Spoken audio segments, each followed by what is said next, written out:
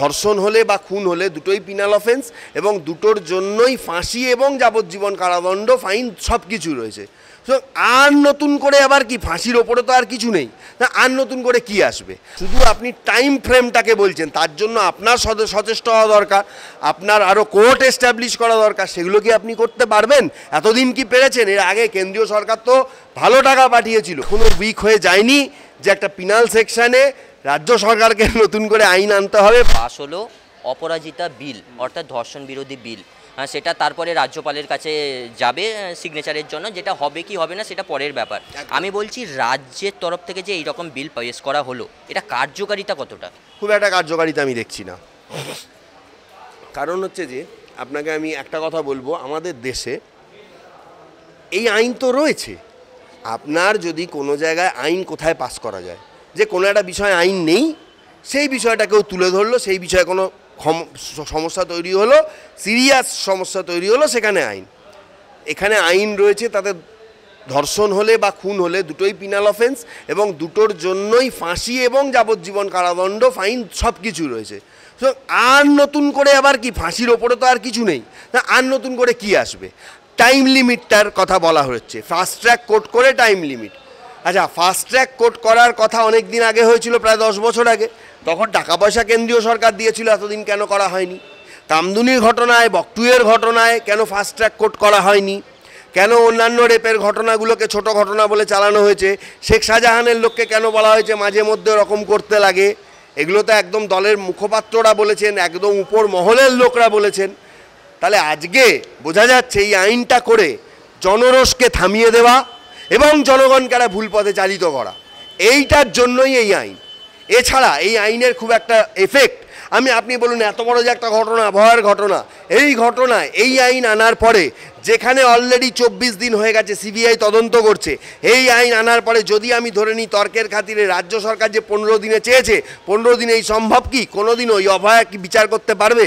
এত সহজ নয়। পুলিশের কাছে সমস্ত তথ্য থাকে, কিন্তু পুলিশ ডিলিট করে দিয়েছে। সিটের কাছ থেকে তদন্ত সিবিআইয়ের কাছে চলে গেছে।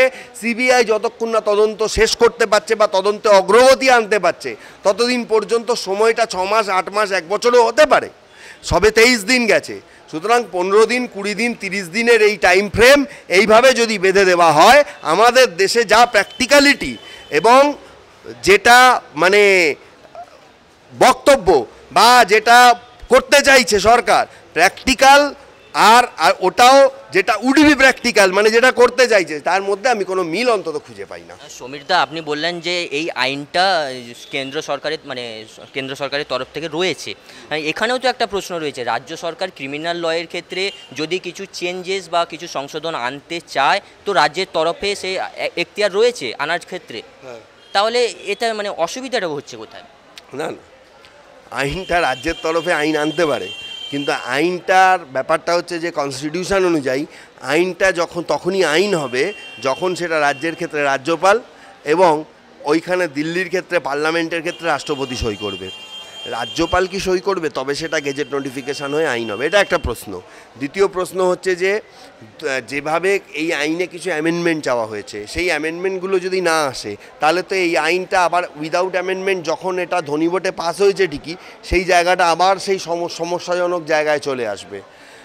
এই জন্য আমার মনে হয়, আর যেখানে একটা আইন রয়েছে, আপনাকে এটা মান- মাথায় রাখতে হবে, যেখানে আপনি একটা কথা বলুন সেন্স সেন্সেবল কথা বলুন। সারা দেশে যদি মার্ডারের পানিশমেন্ট, ফাঁসি অথবা যাবজ্জীবন পশ্চিমবঙ্গের জন্য পানিশমেন্টটা তো আলাদা না, আপনি তো পানিশমেন্ট আলাদা দেখাতে পারছেন না।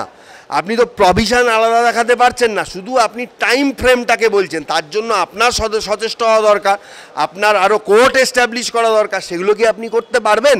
এতদিন কি পেরেছেন? এর আগে কেন্দ্রীয় সরকার তো ভালো টাকা পাঠিয়েছিল, সাতশো, আটশো কোটি টাকা পাঠিয়েছিল, সেগুলো দিয়ে কি হলো? সতেরোটা কোর্ট করার কথা ছিল, আপনি ছটা করে চুপ করে গেলেন, কেন? কাদের অঙ্গুলি এলানে? এবং যেভাবে পুলিশকে ব্যবহার করা হয়েছে, যেভাবে সাধারণ মানুষের উপর পুলিশ অত্যাচার করেছে তাতে এইটুকু স্পষ্ট যে উপরের দিকের অঙ্গুলি হেলন না থাকলে স্বরাষ্ট্রমন্ত্রক পুলিশ মন্ত্রী অঙ্গুলি হেলন না থাকলে পুলিশ এত কিছু করতো না। সুতরাং এইটুকু আপনাকে মনে করিয়ে দিই যে দেশের আইন এখনও উইক হয়ে যায়নি, যে একটা পিনাল সেকশানে রাজ্য সরকারকে নতুন করে আইন আনতে হবে। পাশাপাশি পুলিশ যেভাবে মানুষের ওপর অত্যাচার করেছে, এইটাকেও আমরা কখনোই ভুলতে পারব না কন্ডেম করতে পারব না।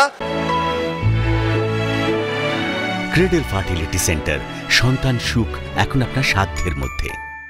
বিভিন্ন বিষয়ে ভিডিও পেতে চ্যানেল হিন্দুস্তানের ইউটিউব চ্যানেল সাবস্ক্রাইব করুন। www.youtube.com/channelhindustan